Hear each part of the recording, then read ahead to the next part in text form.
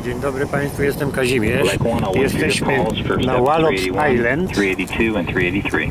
w dniu e, 13 lipca 2014 e, e, 12.50 za chwilę start rakiety Antares, która wyniesie statek kosmiczny Cygnus na orbitę celem e, dostawy towarów do Międzynarodowej Stacji Kosmicznej.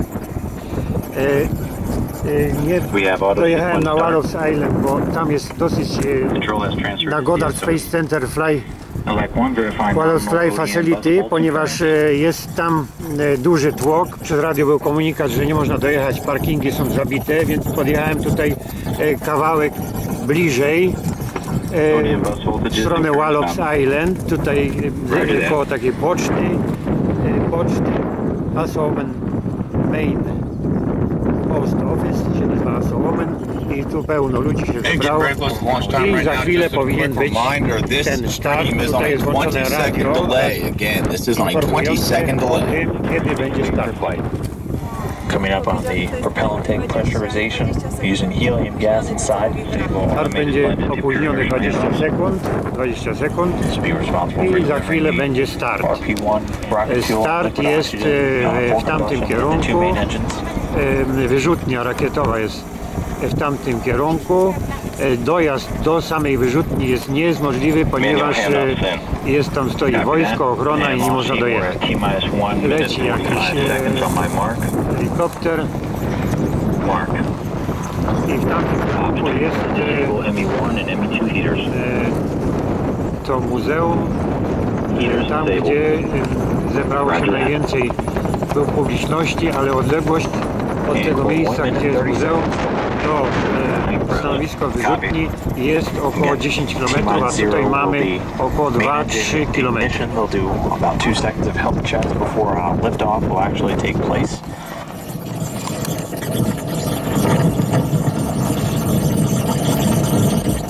Preliminary fuel tank pressurization started.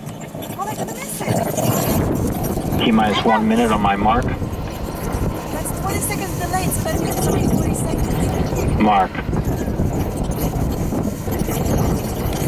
Now under a minute from Antares liftoff from the Wallops Flight Facility in Virginia. Please stand behind the door. All systems go, the range clear, everything looking good.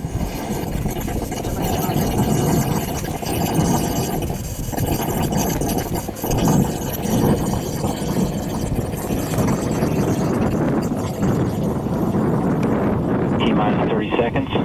Mark.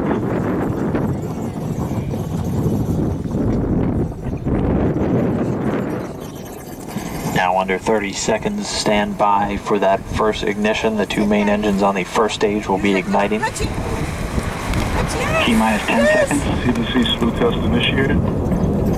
Mark. And 10 seconds to launch.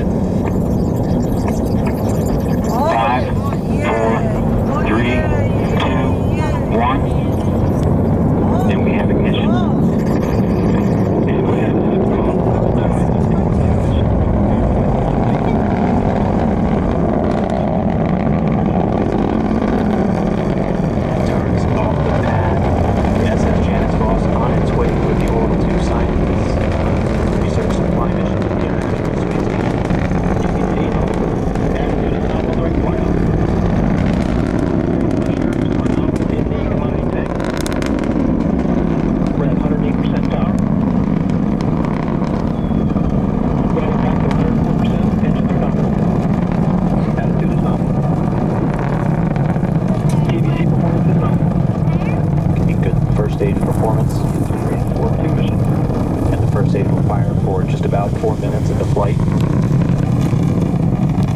Attitude is nominal. Engines remain nominal. Power is nominal on our power buttons, flexible power buttons.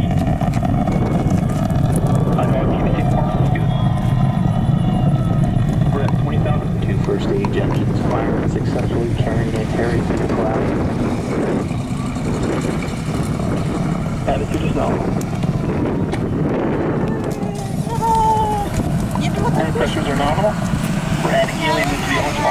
Pressure on to keep them up the pressure.